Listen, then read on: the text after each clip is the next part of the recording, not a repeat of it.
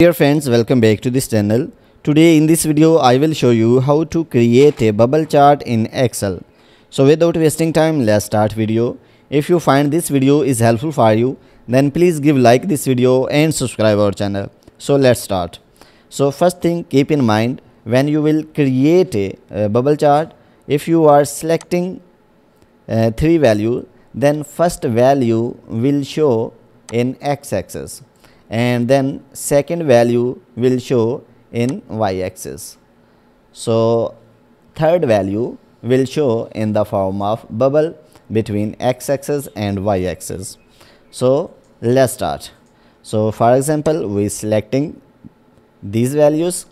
So after that you will see insert option. So just click on it and here you can see insert scatter or bubble chart option. So just click on it and here you can see scattered or bubble options. So because we want to create a bubble chart that's why we will select bubble options. So here are two types. So we will select first options. So after that you can see bubble chart is created. So in the x-axis you will see the values of cost.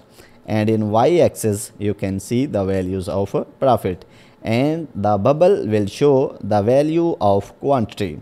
So guys in this way you can create a bubble chart. So here uh, one thing is more that the values of x-axis is started minus 100 to 600 so if we, we want to change it then press double side on the left side of mouse. So so after that you will see axis option so just click on it.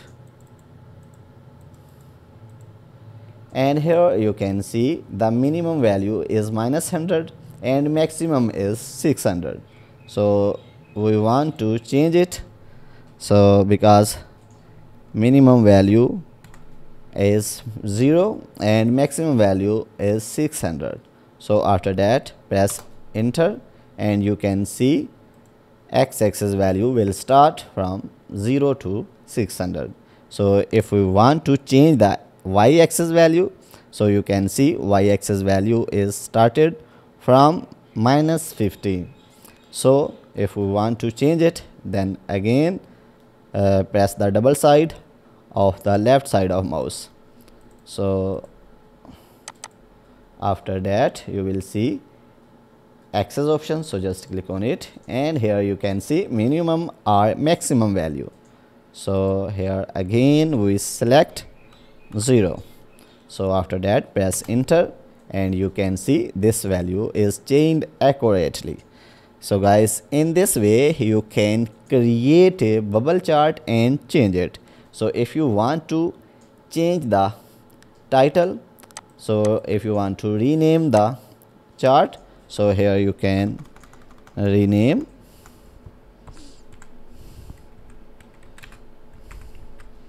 So after that if you want to change the position of chart on the sheet so press the left side of mouse and drag anywhere which you want to capture the chart.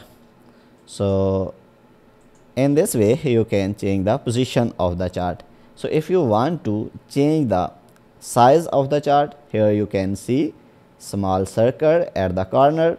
So just click the left side of mouse and then drag anywhere on which you want to adjust the size. So here you can see the size is changed.